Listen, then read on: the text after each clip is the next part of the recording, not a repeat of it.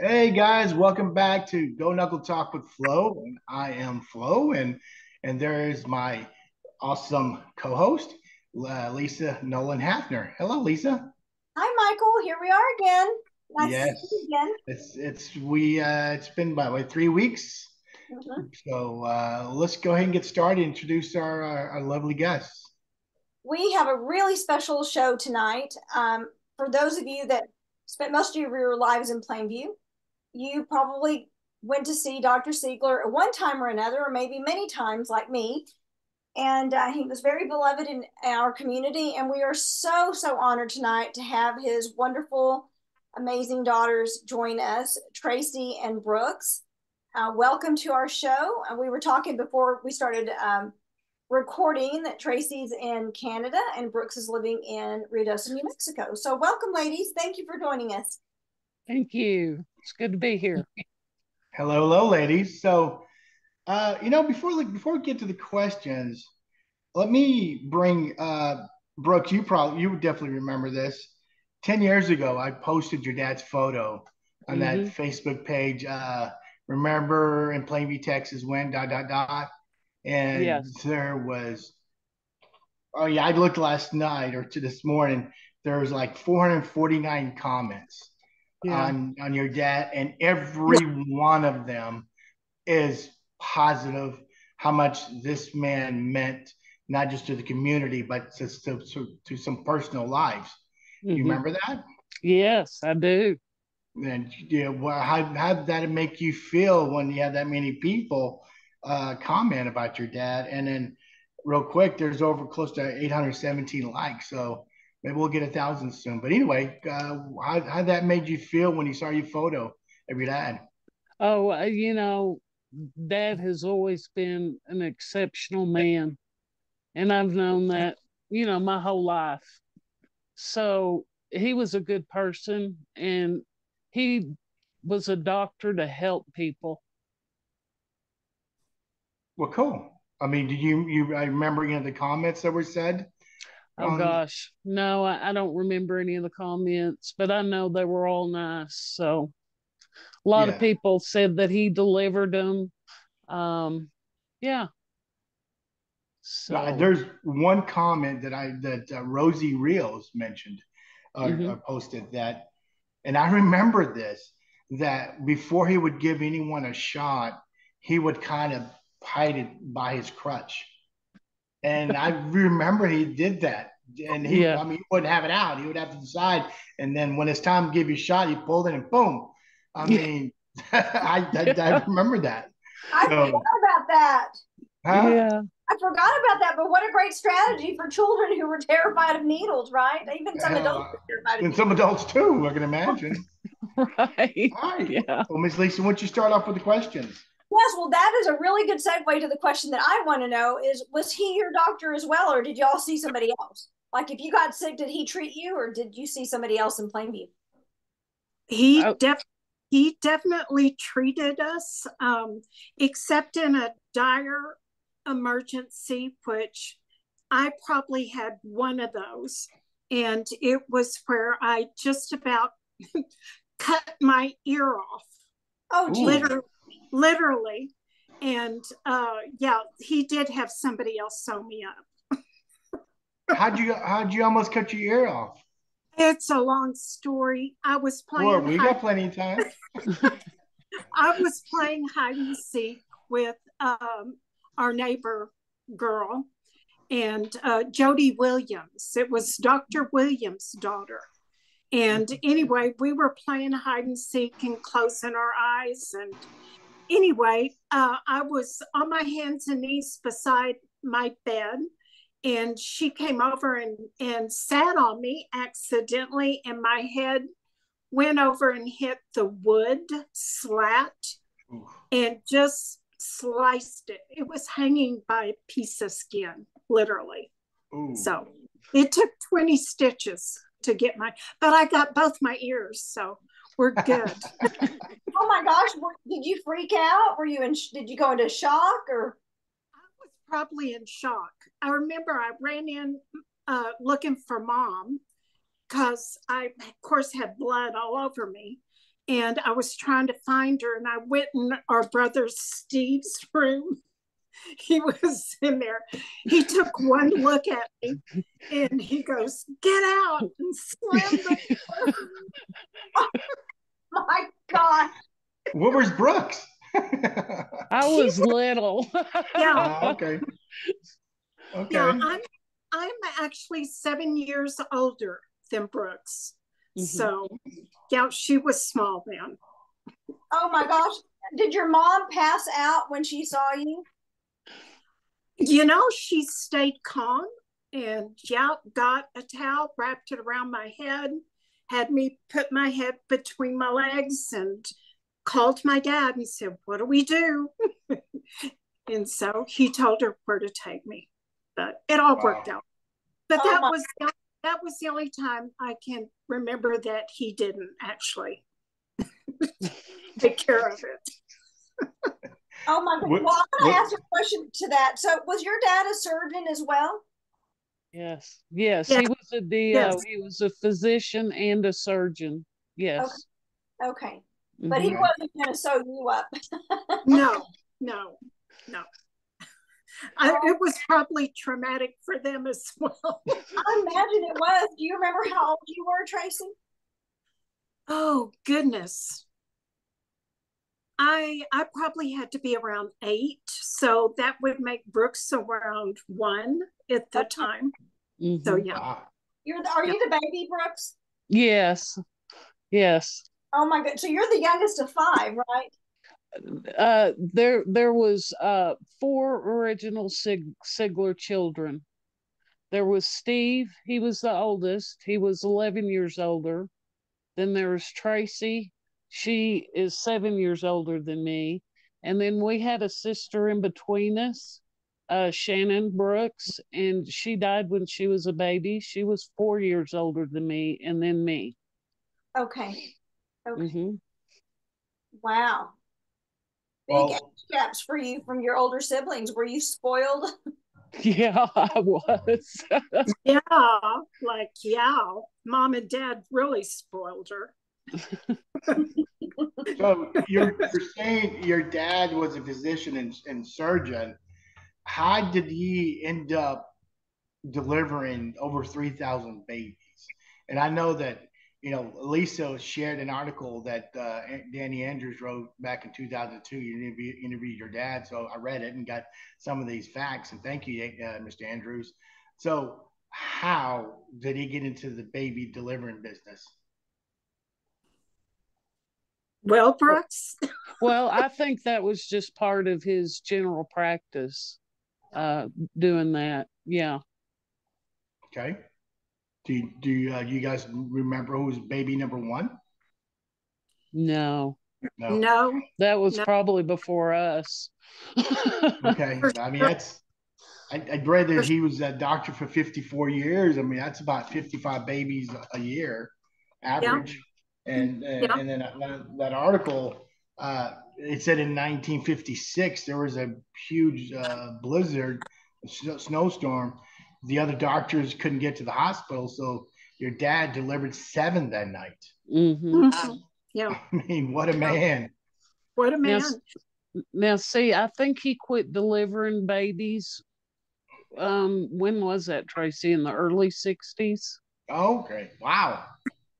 Yeah. Yeah. hmm So that's uh, that's probably geez, five hundred or more a, a year.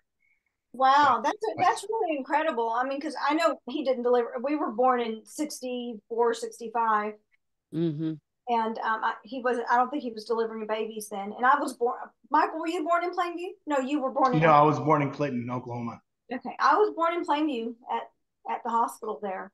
But I know um, I just recently found my original birth certificate, and he did not. I wanted to see if he delivered me. He did not. Right.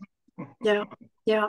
He did make he made house calls, Uh-huh. and um, I went with him on some of those house calls, and uh, yeah, it, it was amazing to watch him interact with um, his patients and the care that he gave him. And he had a black doctor's bag that Mm-hmm. he carried. And um, what happened to that, Brooks?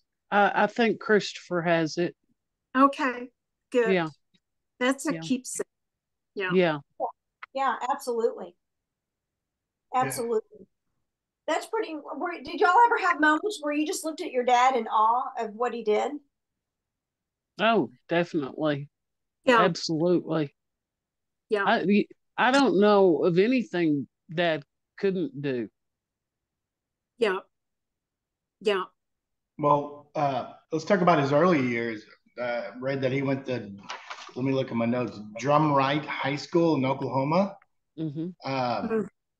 what kind of student was he? I mean, did he ever talk about what he, you know, what th- things, or if he was in social clubs or anything? Did he mention anything about his high school years? I think, um, uh, you know, he was into the Boy Scouts. I'm not sure about social um, things in high school. I know, you know, he had mm, straight A's in school. He Yeah. was really, really smart. Mhm. Um, but uh, you know, I think his biggest accomplishment as a child teenager was becoming the Eagle Scout. yeah. Yeah, and he did it at age 13, I think. hmm Yeah, that's, That's- pretty remarkable. That's yeah, it is because my son got his, but he wasn't until he was a senior at 18. I mean, Right. your dad to do it at 13, that's pretty remarkable. But uh, Yeah. that he did that, uh, you know. So, and then he was uh, he then he continued like a, uh, as a uh, a master, a, a club master, didn't he, or a Boy Scout? Yes, he was a Um, Boy Scout leader. Uh huh. So He were your had- brothers, were your brothers in his um, Boy Scout troop? Yes. Yes. Yes. Oh. Yeah. Do you remember the number of the troop? Two twenty two, 222, right? and it was uh, based out of St. Mark's Episcopal Church. There on Joliet Street. Yep. How long did he do that? Oh, He did that up until Mom died, I believe, Wow, And, that's a uh, long did he- time. and that was in '69. He uh, they went to somewhere in New Mexico for a lot, a lot of their camping, didn't they? he they went to New Mexico, they went to Colorado, they went to Arkansas, they went to Oklahoma. Uh, there was uh, he took those boys everywhere. mhm. yeah. Oh, good. Any stories from those from those trips that he may have Uh, shared? or oh, your gosh. brothers may have shared with with yeah about your dad. Um, gosh, well, see, I went with them. Yeah. Yes. Yeah, we did. We Yeah. went. Uh huh. Oh, that's Do they do they not have Girl Scouts back then? Or- Yes, And you, Uh-huh. were you were you guys in Girl Scouts? I Uh, I- tried it. yeah, I was in I was in Girl Scouts for a little while. And uh, but no, we both mom and dad loved to camp. And uh, we had a small camper that on some of those Boy Scout camping trips, uh, we would go with mom and sleep in that little camper. But um, yeah, you know, they would, we would basically stay around the camp while the guys would go out hiking and everything like that. But we got to eat their food because they had to cook. And So- and we had KP duty. I remember that we had to Yep. help wash dishes. We Uh-oh. did. Yeah, we would have made good Boy Scouts, Brooks. Yes. Well, I tell you, I I was a brownie, and then I tried Girl Scouts for a year, maybe two, but it wasn't near as fun as the Boy Scouts. The the It Girl was- Scouts didn't go camping. You know, I didn't want to sit there and sew. you know, I wanted to get out and go camping, to go inner tubing on the river. Yeah. We did stuff like that. Mm, yeah. Yeah. And did he you ever, know, where where did they go in Colorado? Where'd you guys go there? Oh gosh. yeah, can you remember? I can't remember. I mean, Dad had those boys. I would say going a minimum of twice a year, if not about four times a year. I mean, he'd even take them in the winter. Oh wow! Mm-hmm. Yeah. What an Yeah. experience for West Texas kids. I'm I'm right there with you, Brooks. I did brownies when my brother was in Boy Scouts, and that sure looked like a hell of a lot more fun. And I would much rather go on the Boy Scout things. So I quit. I'm like, if I can't do these things, I was not domestic. I wanted to do the tomboy stuff. I did too. Yeah, and I was going to ask y'all before you answered that question if you had wanted to, if either one of you had wanted to be in the Boy Scouts, and you you answered that question. Yeah. How did Sure. they how did they travel to uh, New Mexico, Colorado, Arkansas? Is that that they had like a bus or van, or they took separate vehicles? I, Dad got well. The boys earned the money for a bus. Mhm. Yeah. Uh, I mean, nothing that that troop did, those boys earned every penny of it, and they earned the money for the bus, and it was a, it was like a Greyhound bus, wasn't a school bus, and they went in and recovered, reupholstered the seats, went through the motor and everything, so they had a really, really nice bus Yep. that those boys made every penny for it. Is Wow. Is that how they earned some of their badges? Mm hmm Well, Mhm.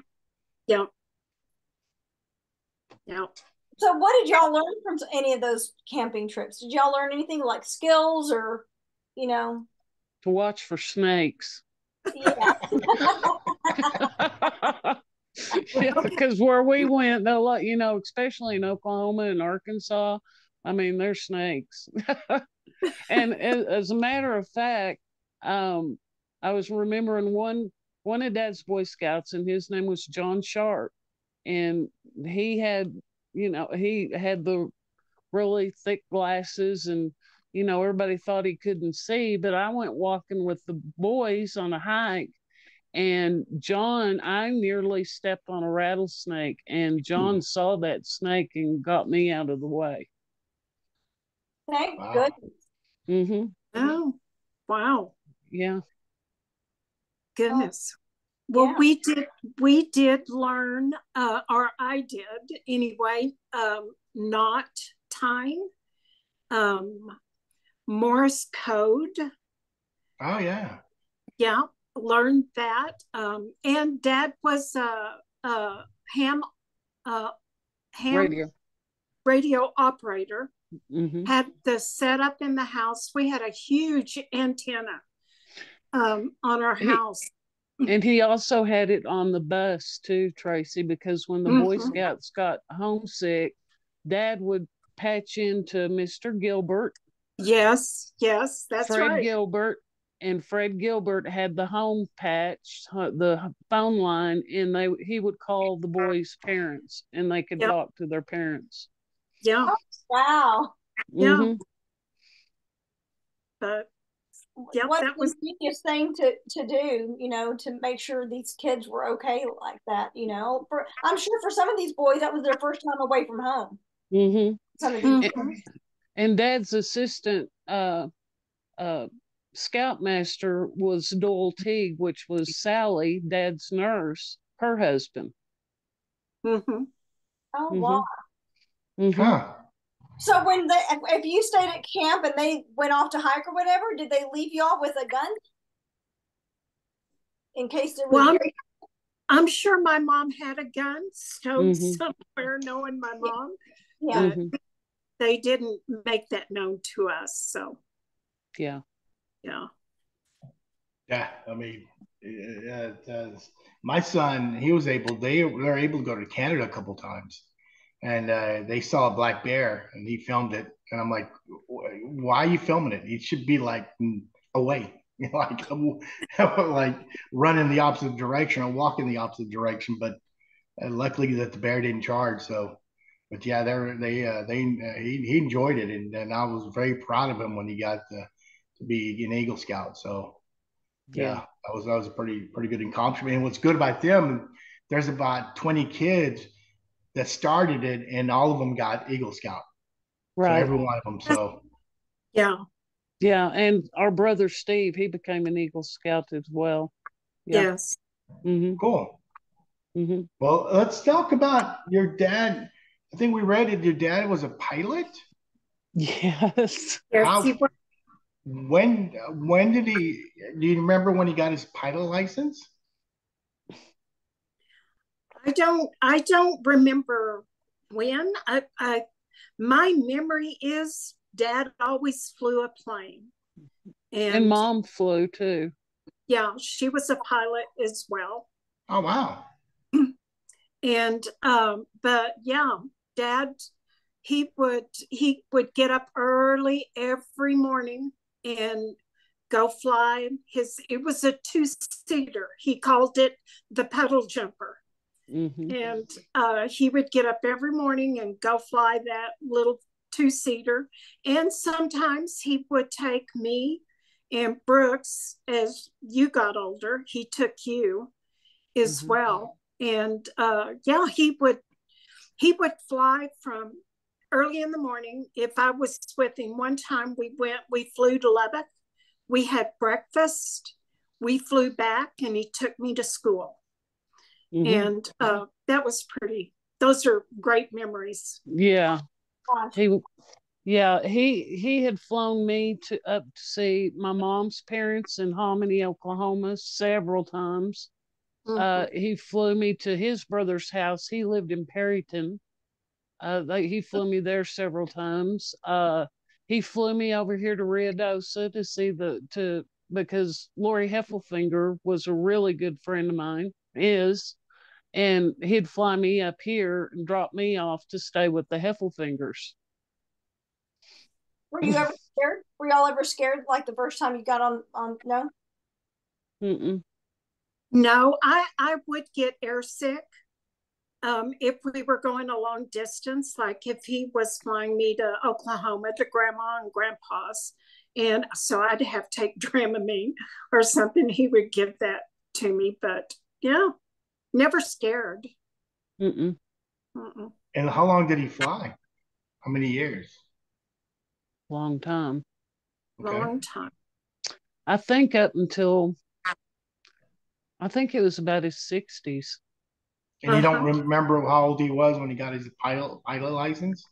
no It it had to be before we were born because Right. him and mom I get after he had done his internship, he flew they flew into Plainview and um w- they were getting fuel and Claude Hutcherson met him out at the plane and asked him where he was from and what he did and dad said well i'm looking for you know an area to practice in and claude said you found it yeah Yeah, I, I read in the article that it was what building was it? Um, Skaggs building. yeah It said that he first practiced in the Skaggs building. yeah I don't remember where that is. Do you? Do you remember? it's it, it, it's right near uh right next door it's on broadway That's Right downtown. next- yeah mm-hmm Okay. And then, of course, he moved to that house on 10th Street and I don't remember the cross street. yeah uh 10th and independence Independence. Yeah, that's where I, of course, when I remember when I used to go now- see him. now see uh really actually he helped build a hospital in Olton. He practiced in Olton. Okay. Him and Dr. Fight and Carrie Eves' dad, Bill Eves, uh, was their business manager. So they had that hospital in Olton for a few Yeah. years. Mhm. And then dad really came and stuck in Plainview. Okay. My grandma Yeah. grandma lived in Olton. Oh I'm s- wow My Okay. yeah, my, my paternal grandmother lived in Olton. So um when my my dad moved from New Mexico, they lived in Olton for a bit. So that's Okay. how daddy knew Dr. Seigler. Yeah. Now, see, our, our brother Steve, he was born in Olton. Mhm. Tracey and I were born in Plainview. Okay. yes Now, did y'all graduate from Plainview High School? I did, uh, but I graduated early. I went to summer school. um, uh, I was should have been in the class of uh, 79, and I actually graduated in 78. Okay. Okay. So, So you, I, I became a senior my junior year, so and graduated that summer. you, Right. you graduated the year Michael and I were in eighth grade. Okay. And you were there when Mr. Sherwood started as well. Mm-hmm. Oh, hmm Mosquito. Tracey, did, Yeah. did you graduate from Plainview? No, I didn't. I I actually uh, left home when I was 16. I got married, and I was a child bride, and um, and um, my husband, I married Gary Davis, that graduated from Plainview High School, and he had joined the Navy, and so we traveled quite a bit with him being in the Navy. And uh, I ended up graduating in Sicily. We Oh, wow. were stationed there, and I took my GED there. And it was administered uh, by a Catholic priest on the naval base there. That's what he did.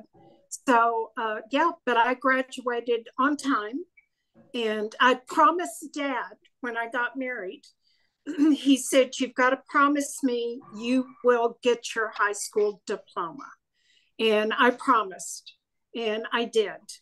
So, um, yeah, so that's where I was when I graduated. was he uh, happy that you left school early and got married, or was he Yeah, no, he wasn't opposed. It wasn't. Um, it wasn't a rebellion type of thing. Um, Mom had passed away um, a couple of years prior.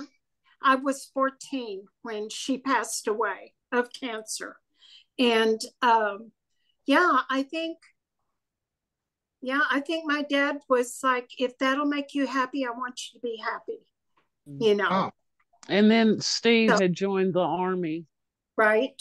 Yeah. hmm and uh, now An- Andrea Hayes is uh, one of our classmates. She did ask, "Did your dad serve in the military? And if he did, what branch?"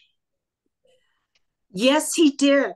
He, um, it's a funny story, really.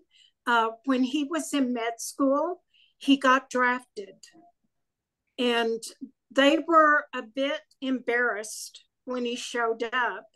Oh yeah, He had one leg. right. And so they were scrambling of what to do now. And uh, he was probably only officially in the military for maybe a week or two. And they gave him an official discharge. Um, so, and it was the Army. Okay. So, yeah, it was a very short stint, but it, it's a funny story, really. And I assume this is World War II that uh, he was dra- hmm drafted for. Mm-hmm. Yes. And See, uh, where was he living when he was drafted? What's in Oklahoma or? That would have been Kansas City. Yeah. he was in medical school. Oh, okay. yeah. But a lot of people think Dad, you know, got his he lost his leg in the war.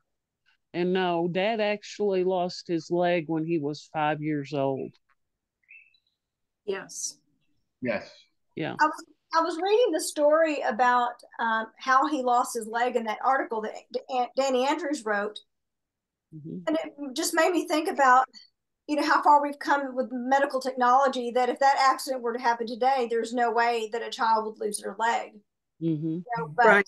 the advancement of medicine was such that you know amputation was the answer versus you know some other orthopedic solutions um, to that Mhm. injury and um, but you know your dad didn't let it stop him Mm-mm.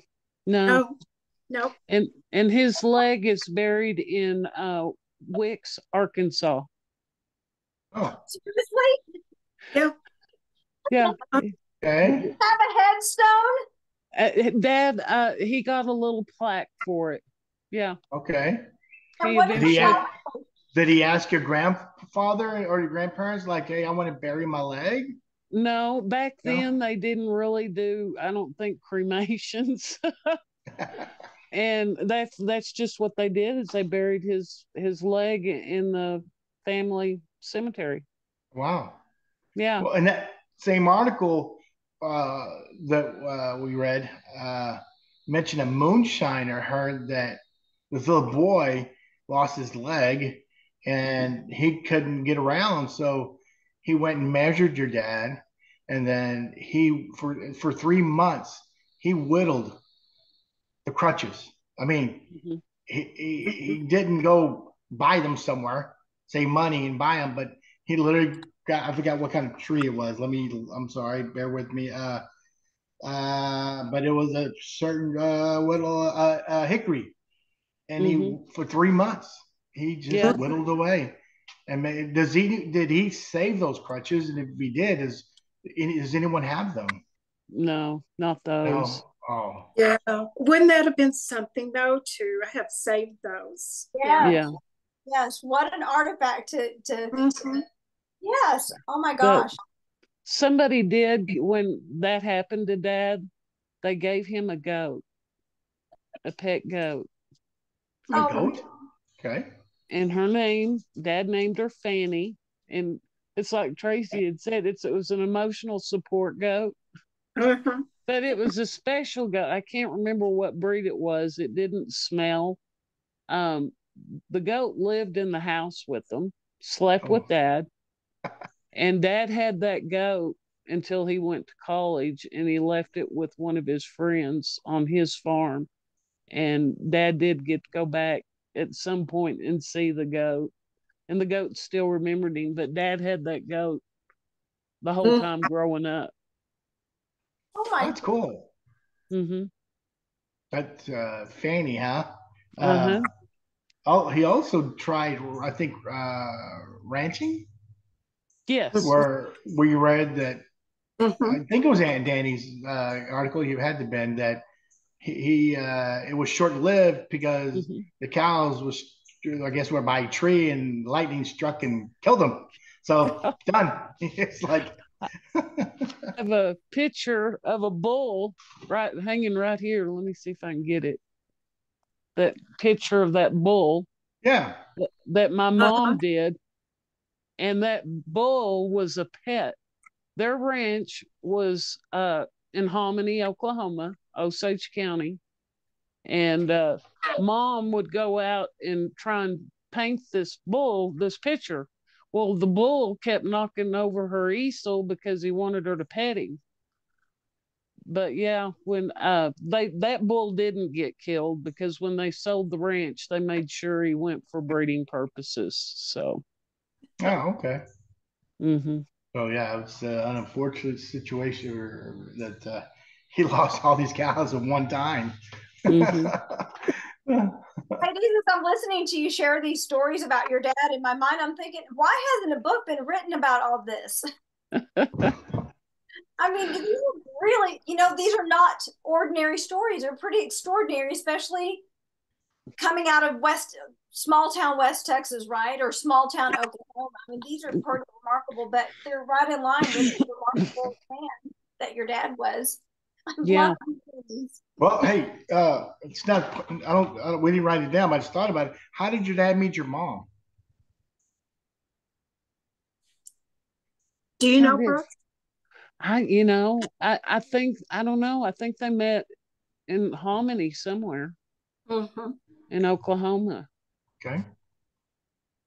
I guess uh, they were college, or I guess you don't remember, or they they never told you guys. I don't remember. I don't recall them really ever telling us how they met. Right. Yeah. Okay. Well, okay. Yeah. Um, let's talk about Masters of Swing. I was thinking about this. So your dad was in band with some other doctors, a mm-hmm. local businessman in Plainview, and I'm thinking, you know, it's a small town. Uh, you know, it was coincidence that other doctors played an instrument. I mean, I live in Houston, near Houston. There's thousands of doctors, so you're bound to find several several doctors that can that probably can sing and play an instrument. But you're in Plainview, Texas, where it's small. I mean, mm-hmm. would have thought all the other doctors knew how to play a guitar, or piano, or but anyway. But uh, mm-hmm. could you share some stories about the days he was, uh, uh, you know, during his masters of swing? That's you, Tracey. Okay, well, I remember those days very well. I I was actually a part of the old masters of swing, and um, I was the vocalist. And um, we had rehearsals every Wednesday night, and um, it was so much fun. I mean, the house was full of music and good music. I mean, these guys could play, and they they were in demand. Um, oh, did they, they did they play other music, other uh, other music, or did they have their own their their own? Well, they they played other people's music, um, and it was you know uh, music like um, oh I'm I'm trying to think like Bye Bye Blackbird, um, you know, that kind of music, Mack the Knife, um, jazzy. Then they played smooth music. They, um, yeah, it was, they were, they were all remarkable musicians. Mm-hmm. Where did you guys usually play? Where did y'all play mostly? Well, we played we played a lot of different venues. We played in um, high school. Uh, we played at a prom, I remember. Um, and um, I sang at that prom. I, I, was trying to think, Brooks, that might have been Steve's prom.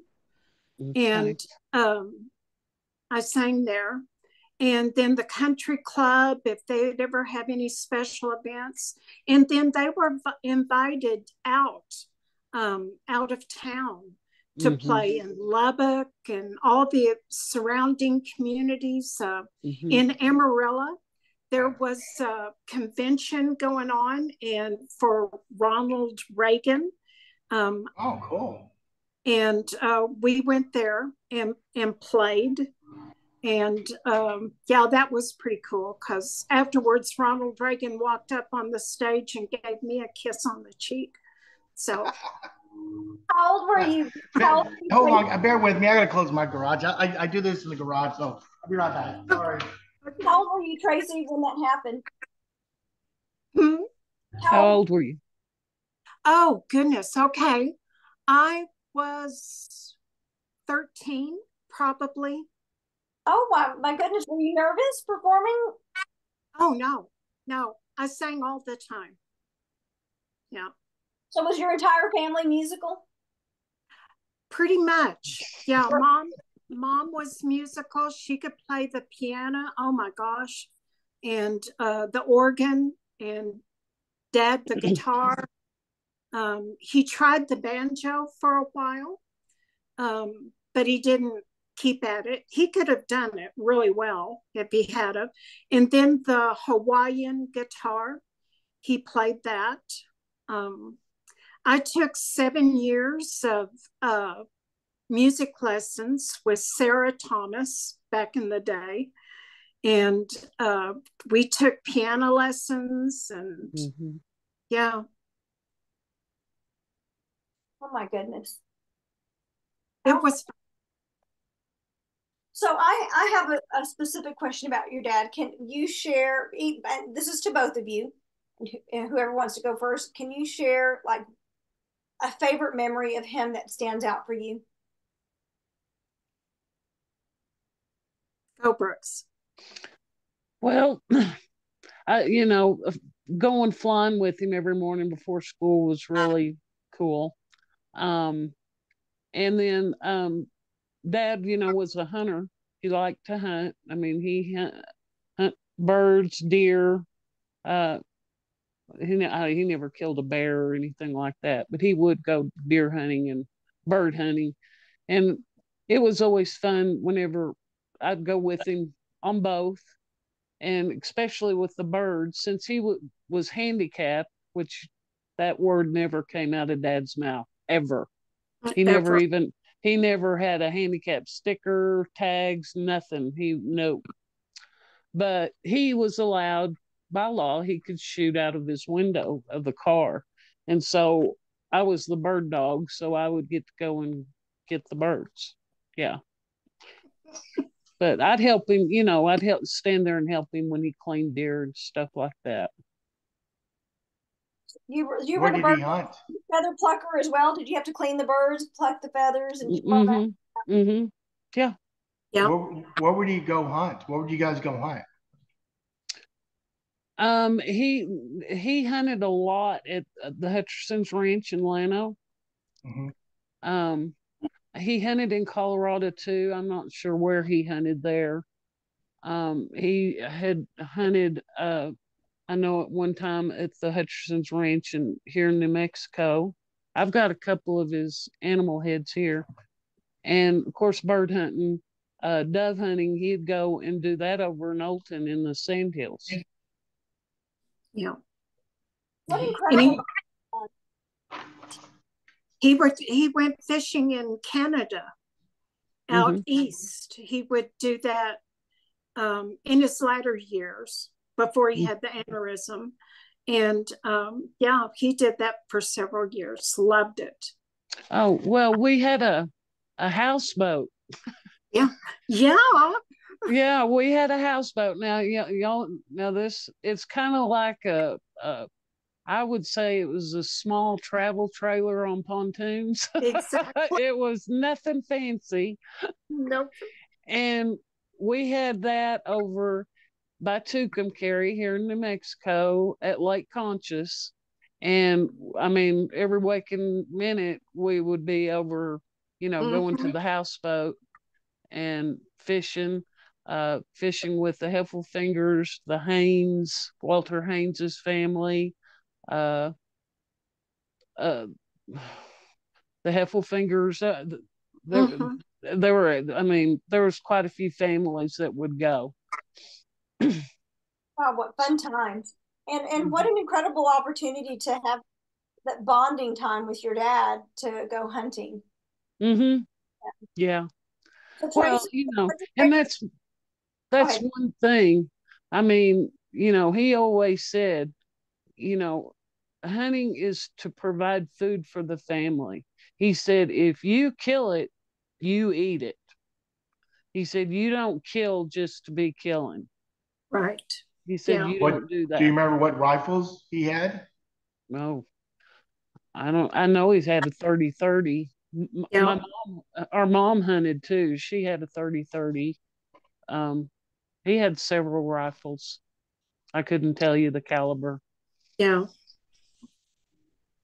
Tracey, what about, about go ahead. Sorry. Tracey, go ahead. What about you? Oh, okay. Well, uh, some of my favorite memories, of course, uh, was one of them was the old masters of swing. And um, another favorite memory that I really enjoyed, uh, I worked for him in the summer at his yeah. office. And I loved doing that and uh, just assisting him with patients and and watching him um, during that time, there there were many many times that um, a patient would be in an examining room. He would come out. He would come to the desk where I was, and he'd say, "No charge." Mm-hmm.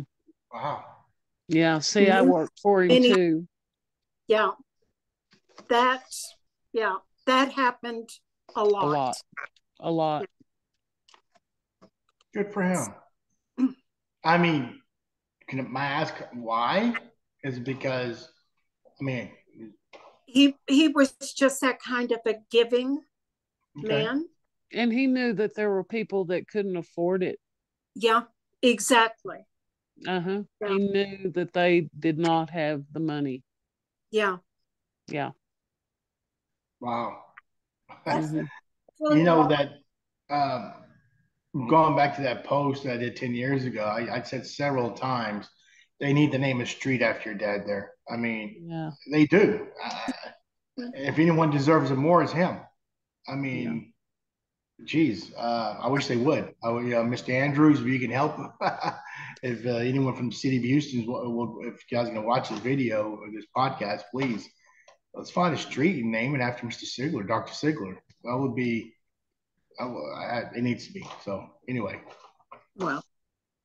I mean, he, he's a he's a legend in Plainview, and I, I, think his legacy needs to be honored in a way that's commemorative, and that other generations can know who this remarkable human being was, and uh, you know how many lives he touched, and how many people that he helped, and it sounds uh, that he did what he did out of love and just had a, an incredible high level of altruism and you know his people skills i mean mm-hmm. his ability to connect with people of all mm-hmm. walks of life of every profession and of every color and to connect with them in the way that he did is i think makes him made him such a remarkable human being yeah and and yeah. interesting i have a I, I think the fact that he was so inclusive of his family and his children you know is a really neat thing because I've had other friends or whatever that their dads are doctors and it wasn't that way. It's like their professional life was so separate from their home life. And sounds like your dad like integrated every aspect of his interests, his professional life, his family life was so fully integrated. Mm-hmm. Um, but, you know, it was. Yeah. What about your friends? Uh, you know, the, how did they say you got a cool dad, or I mean, I mean, with uh, can you t- share any stories and your friends might have said anything to your dad, or male or female? Oh, they always liked dad, but I think a lot of them were intimidated by my dad. my friends, yeah. anyway. Those, yeah. Were those the boys are intimidated? I guess. uh, I just, I just think it, well, for one thing, I mean, dad always went to bed early, early. So if I did have friends over and stuff, he was already, you know, he'd get up at four or five o'clock in the morning. Yes, he would. Yeah, he yeah. would. I do know that um, Steve's friends, um, dad um, counseled them. I don't know if that'd be the right word, meant to help mentor some of them um, if they were having problems. Um, they did open up and would talk to dad. They were comfortable. And uh, he spent a fair amount of time uh, doing things like that. I know, especially with my brother's friends. Mm-hmm. Yeah, were you all oh. close as siblings growing up? Yes. Yes, yes, we were. Mm-hmm. In fact, Brooks and I, although we live in two different countries, um, we talk every day, sometimes yeah. twice a day. Well, mm-hmm. we get on Skype and um, yeah, we're we're best friends. Yeah. Oh. Yeah. That's her. That's a blessing of the technology we have today. Absolutely. Mm-hmm. Yeah. Uh, I want to go back to the master of the swings. Uh, I apologize. I had my garage open and they're mow, they're mowing outside, so I didn't hear. You said you had a kiss from someone uh, who, who on the cheek. Who, who kissed you on the cheek? Ronald Reagan. Oh, okay. Wow. Okay. Yeah. Yeah. And she so, also sang with Jimmy Dean. Nice. Yeah. Yeah. Yeah. I did. Yeah. Were there any other uh, famous musicians that you guys came across when you guys were, playing besides Jimmy Dean? Um, no, not that, not that I recall. Uh, I remember Jimmy Dean was coming into Plainview. They were having a big banquet and wanting to honor him. And of course, the old masters of swing were invited to provide the music. And uh, he came up and we sang Bye Bye Blackbird together. Oh, and nice. it was it was so much fun. He was it was great. Great. Is there great. Is there any Super 8 film on these? No, I don't I don't think so. Uh-uh. No. Oh, Wouldn't that wow. been, yeah. That would be awesome. So we're, that would, yeah, that would be cool. Um, were you Dean or uh, was he gracious? Oh my goodness, yes. He was he was very gracious. He he loved it. He thought they were awesome and and they were. They were really good. So well, well tell them who really who good. all was in the band. That we need to acknowledge who was in the band in the well, Masters we, of Swing. We had Archie Keys. He was on the drums, and um, we had Clovis Clow Dr. Clow. Dr. Clow. We had Dr. Baldwin mm-hmm. on the bass. And we had Wilmot Eaton. He wasn't a doctor. He owned the stationery store, mm-hmm. Eaton's mm-hmm. stationery. Mm-hmm. And um, and then there was another vocalist that would come, Riley uh, Armstrong. And um, he would come and we he would sing and we would sing together. Um, who am I missing? Oh, Dalton Wood. Woods. Mm-hmm. Woods. He was he, on the sex. Sex. Yeah. Yeah. Sex. Yeah. Did he? Did they record anything? I mean, is there? Is there any? No. Um, I don't think. Yeah, I think they did record on reel to reel. Um, there may have been a few cassettes, but through the years.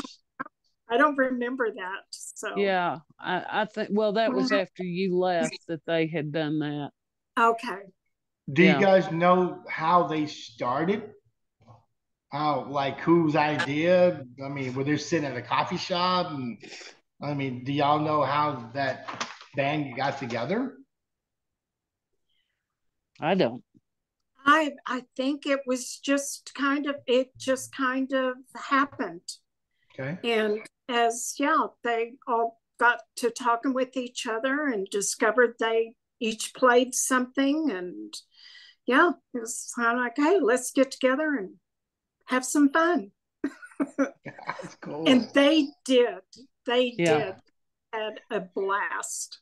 I mean, they yeah. practiced once a week. That's, I mean, I mean, there were most most of them were doctors, and I mean, I don't know how many hours they put in, but then all of a sudden on Wednesday, you said Wednesday nights, you know, we got to go practice our band. So, yeah. And did you mention they practice at, at your house, or did mm. they practice? Okay. Yeah, at our house. Where did y'all live? I mean, what about the neighbors? Oh, they they never complained. I'm sure they enjoyed the music. That's cool. So yeah, mom would make um, hors d'oeuvres or some kind of snack afterwards, but they would start, I think, around six six thirty. Seven yeah. was it? Seven. And, and sometimes they would go till eleven.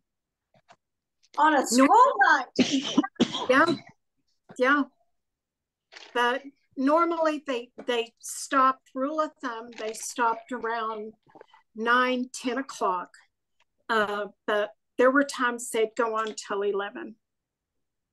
Wow, man, I would love to hear those guys play. I know. Yeah. That would be I mean, great. I would love to go on YouTube and find them. yeah.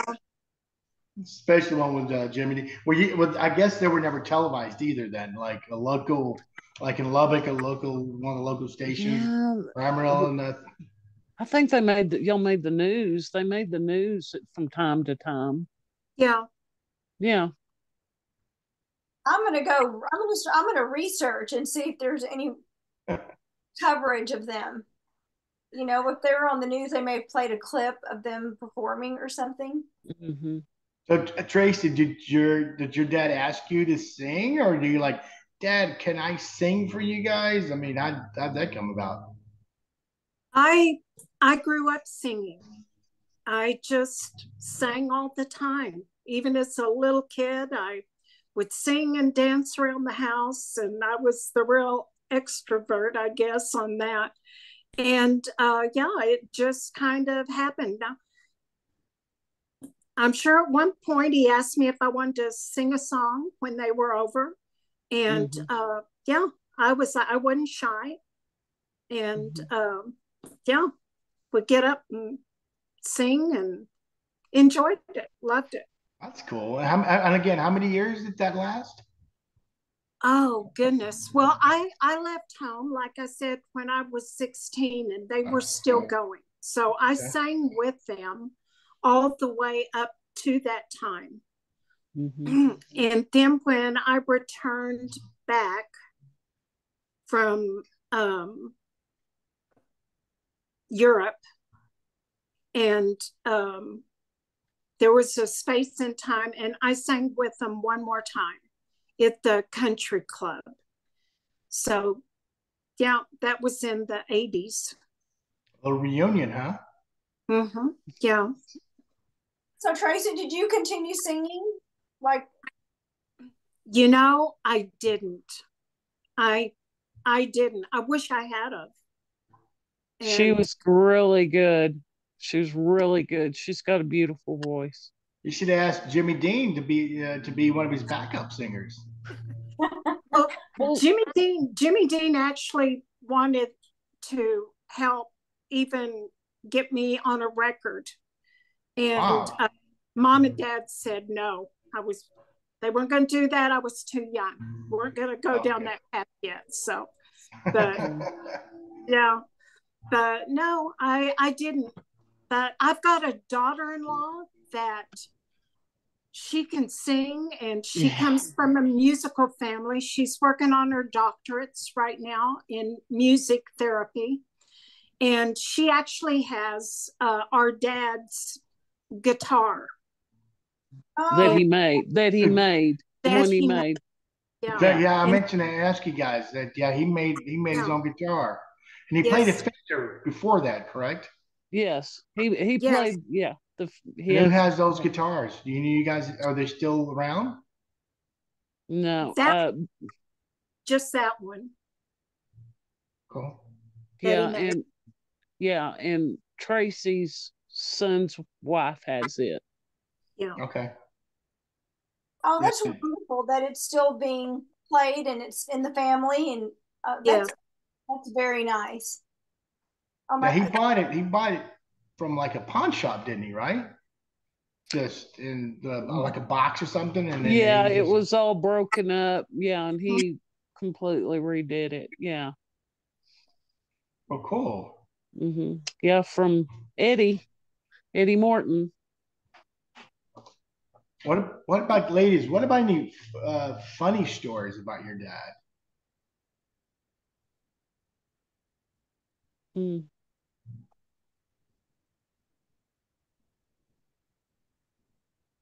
I don't know. Yeah. Did he have sense of humor? Oh yeah, he did. He was he was always teasing. Mm-hmm. Um, yeah, but I don't know. I can't. Yeah, he really wasn't a jokester or anything like that. Yeah. Was your dad affectionate? Yes. Mm-hmm. Yes, he was. He um he always called me baby girl to, up to the time he died. Mm-hmm. And um, yeah, we never ever got off the phone without saying, I love you. Mm-hmm. And um, he was affectionate. He mm-hmm. hugged us and cared for us. Yeah. Yeah. That's wonderful because he comes from a generation where that was not the norm. Yeah. Mm-hmm. Um, yeah. And I'm sure, you know, after, after your mom died, he, he, probably also felt like he really needed to, to step up, you know, in terms of Well, yeah. And after our mom died, see, our brother was killed in Vietnam. Yeah. Yeah. That was, you know, really hard on him too. I Yeah. can only Yeah. Mhm. Well, um, besides the musicians, who else did you what? Who else? I mean, who, who else did your dad used to hang out with back? You know, what what were these other friends? I mean, did he have other have other men that he would hang out with? And, you know, go dinners with or anything like that? Well, there was John and Lorraine Sands. That was back. Well, I guess that. Um. Uh. Of course, him and Eddie Morton were friends. Um. And of course, Sally's husband Doyle. Before he passed away, they, you know, Sally and Doyle were friends. Who else, Tracey? Well, you know, and of course, the ones we always went fishing with. Yeah, the Hutchersons and That Yeah. was our that was our close knit the, group. the Hayneses. Yeah. Yeah. Yeah. Yeah. Uh, going back to flying to Lubbock to eat breakfast. Was there a reason why he did that? I mean, I mean, Because he wanted to. Okay. We Yeah. And because we could, I guess. you know, Um, just Oh, that's just pretty cool. I mean, what time would you guys fly out? I mean, school started, I would assume seven or eight, right? It was. I think it was eight thirty back then. yeah, eight thirty. It early. If you wanted to go flying with dad, you were up at five. Yep. Yeah. And it would it would be cool. I remember the cool mornings Mhm. and him getting that little puddle jumper warmed up and Mhm. crawling in there. Yeah. So where would you, you- where would you eat in Lubbock? Do you I was gonna say, did you guys go to the same restaurant? It's no, they had a little cafe in the in the airport there. So well, you know, wasn't anything fancy. We'd just go in there, get bacon and eggs, and he'd get a coffee and we'd fly back. Did you guys ever skip school on one of those trips? No, Mhm. no. Mm-mm. Well, I mean, where did you uh, did did your did he like to cook a lot at home? Did you guys go out quite a bit to eat there in, Lo- in Plainview? We, I, my, our mom was a fabulous. She was a gourmet cook. Wow. Yeah. I mean, yeah, Yeah. she had. How many cookbooks did mom have? Over a hundred. Yeah, Oh, and she What was your favorite every- dish? What was your um, favorite she- dish? Ooh, Oh gosh. Um, I like the beef stroganoff. yeah, the beef stroganoff, um, anything, her fried chicken. She could cook anything. She wrote, she actually wrote an article for the newspaper. And I've got the picture of me sitting on the counter up in the kitchen and um, her preparing a meal. And it was in the newspaper. But yeah, she was a gourmet cook. Yeah. well, as you share these stories and you reflect back, do you feel like you lived a charmed life? Yeah, I feel like we lived a very blessed life. yeah, We we did. we were we were fortunate. We Mhm. um yeah, we were a, a wonderful family unit. Yeah. Yeah. So when you guys were like out out and about with your dad, um, when you were young, did a lot of people come up to him and and thank him? And you know, was- I mean, can you share any of those stories you remember that uh, one particular time that someone said thank you for delivering my baby or saving my child's life or etc. I mean, uh, that was all the time. I mean, Oh. even yeah. I mean, I I could even up to the time I moved, I could go to the grocery store and people would go, "Oh, I loved your daddy," you know they, Yeah.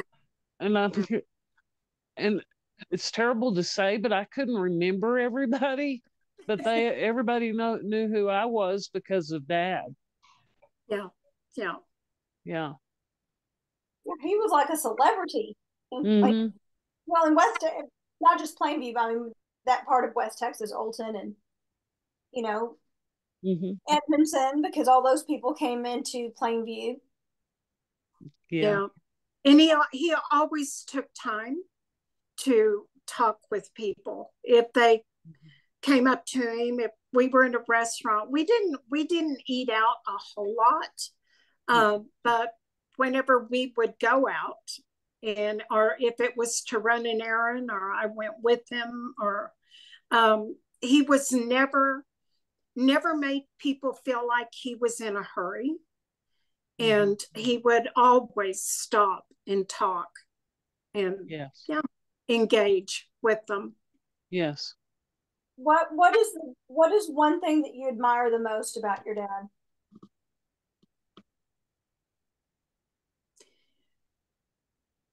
i think Well, go ahead sis I, there's, I mean, I admired everything about my dad. yeah yeah Well, I mean, like, can you? I mean, why? Why? Uh, he was just amazing.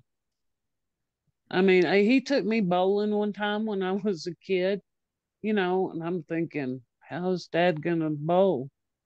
Dad could bowl. Yeah, he could bowl. There, there wasn't anything I, I, I could see. There was nothing that dad couldn't do. yeah yeah Nothing. yeah That's why he didn't consider himself handicapped. Absolutely. not at all No. You know, I think that's a real incredible legacy. Um, to have a physical disability and not let it hinder your abilities and your um, your desires to do a whole bunch of things, you know, and I, I mean that just makes it, it gives me goosebumps, you know, the fact that he didn't allow that to be a limitation. yeah yeah Well, if you think about it, he lost his leg when he was five. So, I mean, you know, I guess the memory of having that leg really faded away. And Mhm. that was it, it, life was normal for him without the leg. true yeah so true yeah it's true I, talk about, I'm sorry. Go ahead, Tracey. you know i i as i think you know what did we admire what did i admire about him you know as a kid you a lot of times you just take things for granted because to us that that's dad and Mhm, um, my friends you know would point out he's only got one leg and it's like oh oh yeah i guess he does. Yeah. you know because we we just didn't he, we didn't live like a family with a handicapped father which he Uh-uh. was. And uh, as an adult um, i i can appreciate and admire his courage. Mhm, the courage it took for him and his tenacity and but all along his humility mhm, that he carried he he was a very humble man mhm. and being a doctor wasn't a status to him Mm-mm. he he cared for people Yeah. and i admire his compassion and if i could just get a smidgen of that you know going in Mhm. my life the way he, he lived it before us right. um, you just you think about those things after you're grown up hmm and what would I say to him today? You know, if I could see him, oh my gosh, you know, I'd be gushing all over him. it would be on this podcast with y'all. Absolutely. yeah, talking about his life. But you know, your dad, for him, being a doctor was a vocation and a calling. uh-huh. it Yes. was. It was a purpose for him versus a way of making money or, like you said, establishing a status. It was a real calling and a sense of purpose for him. Yes, You know, we don't, a lot of people don't look at that as a vocation anymore. And for him, it was. And to me, when I think of vocation, it's something that comes from here. right? Mhm. Versus here. Yeah. And uh, I think he was just a really rare human being. And how lucky you girls were that he was your dad. Yeah. Yes. Absolutely. Yes, definitely. I there's probably mostly not a day that goes by that Brooks and I don't reminisce or Mhm. mention dad and you know so Yeah. we we definitely miss him. Sure. Mhm. Do- let me ask you this: Do you, I s- well grandkids or maybe great grandkids? Do they know do you guys share his legacy with with them? I mean, they know about about grand you know granddad or great granddad. Yeah, they called him. The kids called the grandkids called him Dad Dad. Yeah. And that came from my firstborn. Uh-huh. um, Garrett. He, for whatever reason, he didn't say granddad. He just called him dad dad. He was the first grandbaby. And it just stuck with all of them. Um, But yes, I share uh, Mhm. the legacy of um, their granddad and what a remarkable man he was. Yeah. And my kids, of course, we lived in Plainview, you know, so my kids got, my kids were around him more than Tracey's were because they were in Canada. So, yeah, my kids definitely knew what Yeah. dad. Well, Good. Yeah. Um, did he ever share why he wanted to be a doctor, or did, did you did, did or your mom tell you why he chose the medical field? I, he wanted to help people. Help people. Yeah. That's, Yeah. yeah. He wasn't in it- Maybe because he- He wasn't in it for the money. Uh, uh, yeah, obviously no. Uh-uh. No. No, he wanted to help people. Mhm. Yeah. Here's a question about both your parents. Um, who was the disciplinarian in your house? That's a good question. Mom.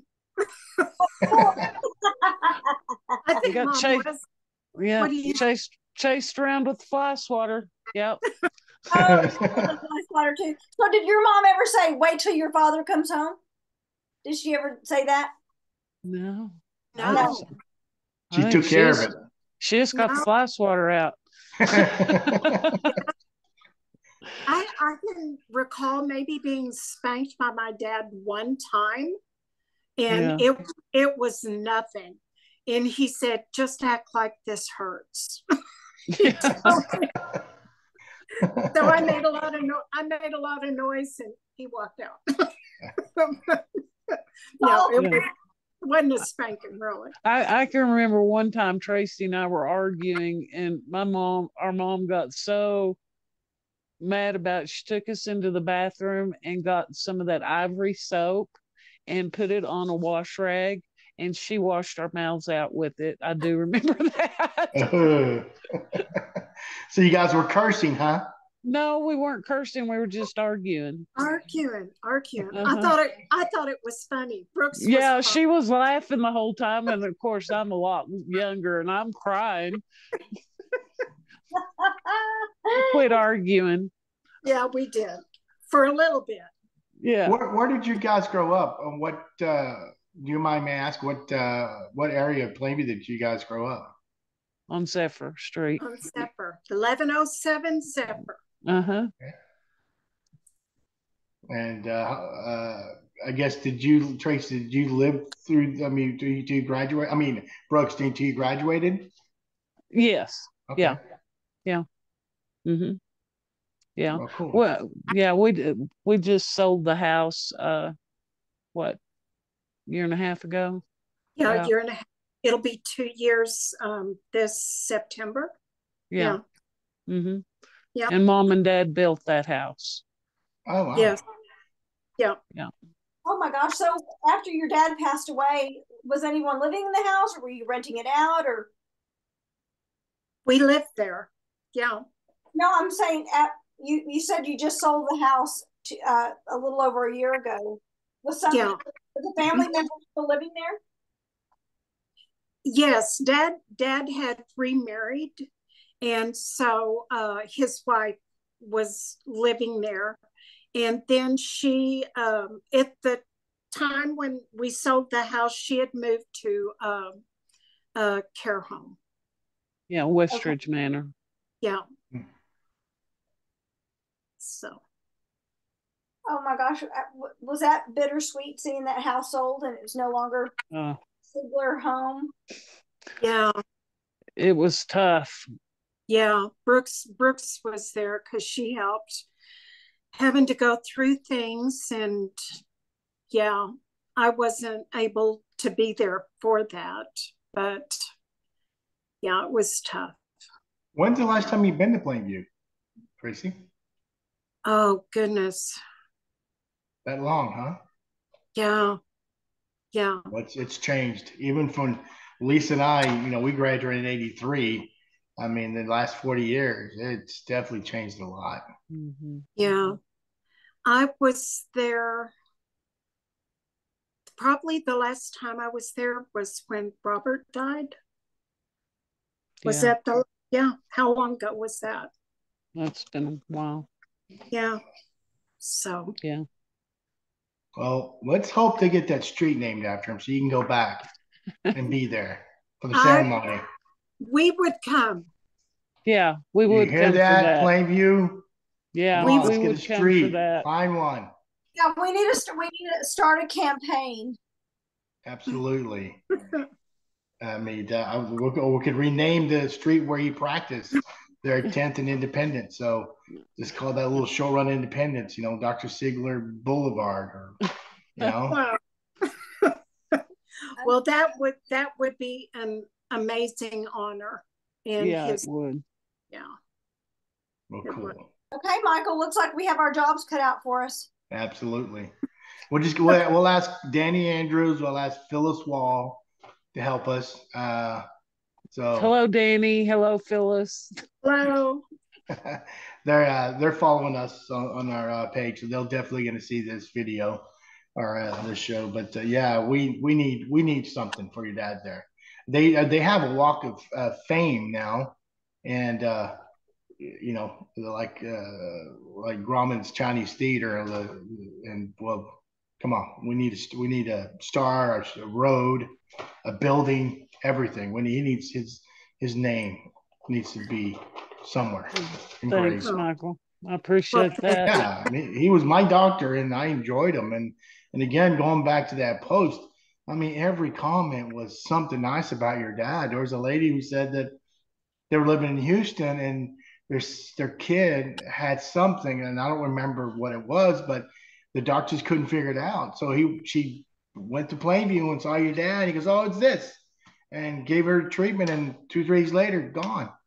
Yeah. I mean, gone. Yeah. So, mm. yeah. Yeah. Wow. Sounded like kind of like that movie Doc Hollywood. yeah. Well, and I gotta say, Michael, I know your dad, I, and I know your mom oh, too. But I, but I know your dad better than I. I met your mom a couple of times, but you have the nicest dad. Marshall is. Well, thank you. Really nice man. Thank you, thank you. They're still there in Plainview, so they That's both awesome. are, and uh, uh, they celebrated last year their 60th anniversary. Oh, wow! Congratulations! Yeah. Thank you. And my mom will turn 80 this August, and then my dad will be 80 in May of next year. So we're planning wow. to uh, do do uh, have dinner with. But I definitely I talk to my mom, you know, twice a week in the mornings when I'm driving to work. So and my dad took all in the afternoon. So I'll, I'll definitely mention that you say hello and thank you, thank you. Yeah. Yes. Do you remember where you worked uh, in his young in his young years there in Plainview? Your, your dad, yeah, at uh, Edmondson's gas station. Yeah, Jay exactly. Edmond, Jay Edmondson. Uh huh. Uh-huh. Yep. That that is correct. They worked right for him next, many years. Yeah, and that, and that was right next where James Wallace Davenport had his insurance company. Right. Yep. Oh yeah. He was there for many years. Well, thank you, thank you yeah. so much. Mm-hmm. Well, Lisa, do you have any other other questions? Um, no, any... but I, I was going to make a comment to Tracey when you were saying that you went from Plainview to Sicily. I was thinking in my head, I thought you left a small town girl and came back a worldly woman. kind of, yeah. I mean, you know, what a, what a, uh, you know, not just culture shock, but a, a shock of, of experience, right? Yeah. It, yeah, it was an amazing experience. I lived there two years. So, um, yeah, it's good. Did you travel elsewhere? Yes, I've I've done a fair amount of traveling, and um, yeah, I did. So what an exciting time for a plain girl, right? yeah, yeah, yeah. Yes. So uh, let me ask this: I, I, assume you guys, you two, never got your pilot, pilot's like pilot's license. No, no, I didn't. Dad wanted me to, and Dad also wanted me to get my ham radio license too. Yeah, but I didn't. It's not too late. It's not too late. no, I really don't want to fly. Not, I don't. You know, uh, that ground is way down there, and if something happened to that plane, now I'd rather, I guess, trust somebody else. the plane, you know, the plane Dad had that he flew, the coupe. Uh, if the motor was to go out, that plane would actually glide. Right. Yeah. You could just coast it down and land. Yes. Yeah, mm-hmm. you could. Oh, and, middle of the field anywhere. It's a very yes. safe plane. Mm-hmm. For sure. Oh, I want to ask one. I just saw a question here. Your dad used to refurnish furniture mm-hmm. or refinish mm-hmm. furniture as was as a hobby. Mm-hmm. Yeah. Uh, yeah. Yeah. Did he sell any? I mean, did, did he get paid for his services, or I mean, is it furniture around the house, or did friends or relatives used to bring furniture to him? And it was it was basically just stuff that they had that he'd redo. Yeah. Mm-hmm. Yeah. Like the kitchen table. Okay. Yeah. Yeah. Yeah. Do you all have any of those pieces? Yes, I do. I've got a table right there. Oh, cool. That's wonderful. Yeah, I don't have any of that. yeah. And I've got, like I said, I've got the deer head and the, it's yeah. not an antelope, but, and then my daughter has the elk head. The elk head is huge. Yeah. Wow. Cool. Well, anything, any other questions, Miss, or any other stories you guys want to share? No, I, not me. How about you, sis? I think I'm good. Yeah, we've covered was, we've covered a lot of ground.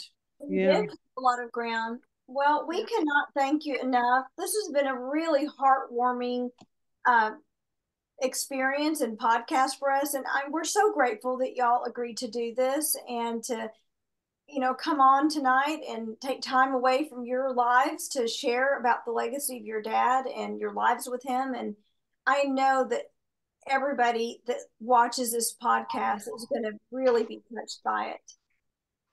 Well, thank you for having us. It was a real honor. And yes. uh, yeah, thanks so much for asking. Yeah. Or we're, we're hoping that this will get a lot of shares.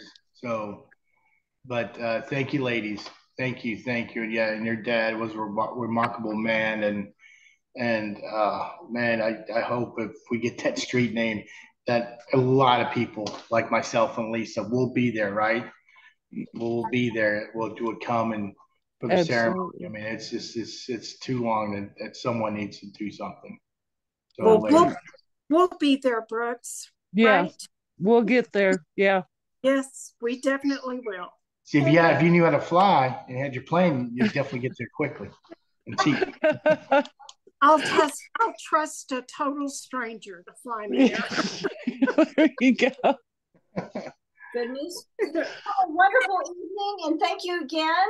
And um, you know, this will be posted on our uh, on our page, our Goat Knuckle Talk uh, page, and we're looking forward to hearing other people's stories and comments after they uh, watch this. well, thank and, you for having us.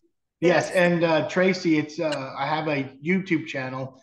You can also Google uh, on YouTube, Goat Knuckle Talk with Flo, and you, and all the episodes are on, on YouTube too. So because I know I don't think you're on Facebook, correct? You're not on Facebook. No, yeah, no, it's on, I'm not. I first po- I first published it on YouTube, and then I share the link on our Facebook page. So uh, okay, I will send I will send uh, Brooks the link to the YouTube channel so she can forward it to uh, you. I'm, I'm, subscri- I'm subscribed. I'm subscribed yeah. to your channel. There you go. Thank you. Well, send it, Brooks. I will. All right. Well, good night, ladies. Thank you. Good night. Nice to meet you. Night. God bless. Take care. Thank you. Thank good night. you. Good night.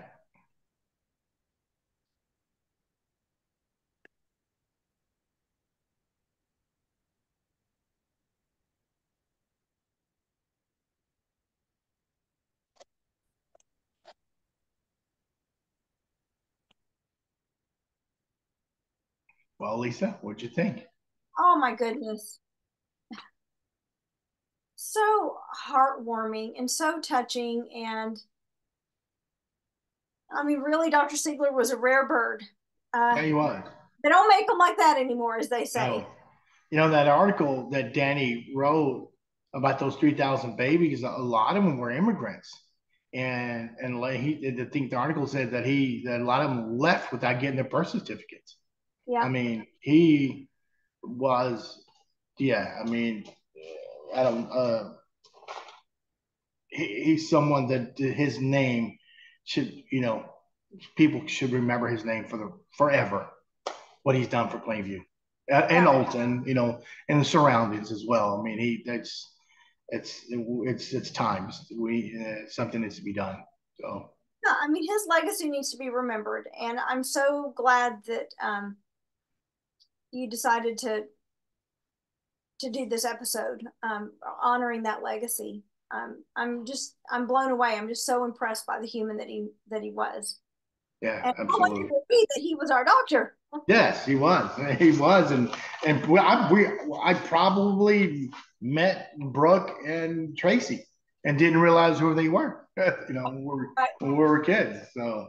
Yeah for sure.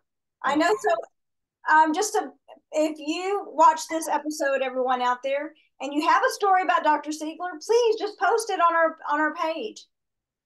Yes, once yeah, once we publish this uh, uh, the show, yeah, share your story uh, uh, on on on that uh, on that uh, post. Uh, we would love to hear it. I mean, uh, I'm telling you the the one in, that I posted ten years ago. Uh, there's some great stories I was reading uh, this morning, and let's there's there's bound to be thousands of more great stories about this man. So let's hear it. I agree with you, Lisa. Yeah, absolutely. Because that would be really good for not just his daughters, but for his grandchildren to be able to hear and read these stories about their granddad. And so I think that would be really, really nice. If you have a story about Dr. Seigler, please post it on our page. And uh, that way his family can can read those stories and and we keep his legacy alive. Yeah, and then I know the other page. Some people said, "Hey, he delivered me." So, hey, let's hear. You know, if he delivered you, post it on there. Yeah, for so, sure, for sure. Well, our next show will be in a couple weeks. It's called Thirty One.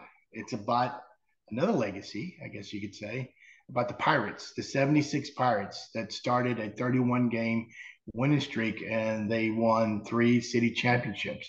And I'm going to have uh, Andrew Dunlap, Todd Heflin, Raymond Rivera, uh, John jo- and John Joe Perez. So uh, stay tuned for that one. And uh, that's going to be oh, Luthez Thompson. Luthez Thompson. Thank you for reminding me Luthez Thompson. So uh, some of you might not like like the show, like you Braves team, uh, Mr. Vera, Peter Vera, and Jerry Vera, but uh, hey, you know, it's going to be a good show. So thank you, Lisa. I'm sorry. It's going to be a fun show. Yes, it is. So, well, thank you, and uh, good night, everyone. We'll see you guys in a couple weeks. Okay. Good night.